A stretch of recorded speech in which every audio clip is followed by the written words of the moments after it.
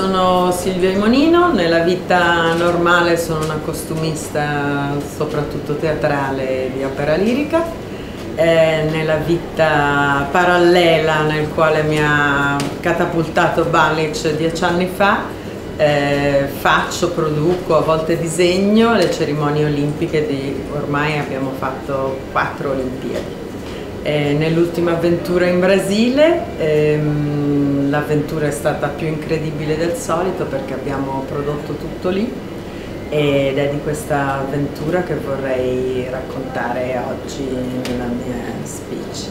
Ehm, è stata un'esperienza unica rispetto a tutte le altre perché comunque è la prima volta che ci siamo calati veramente per una mentera in un'altra realtà,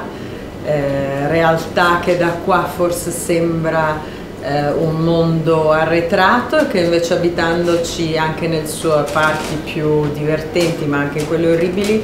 eh, hai la netta sensazione sia il nostro futuro eh, in cui tutto quello di cui stiamo parlando qua come appunto gender piuttosto che melting pot lì è superato grandemente dalla realtà.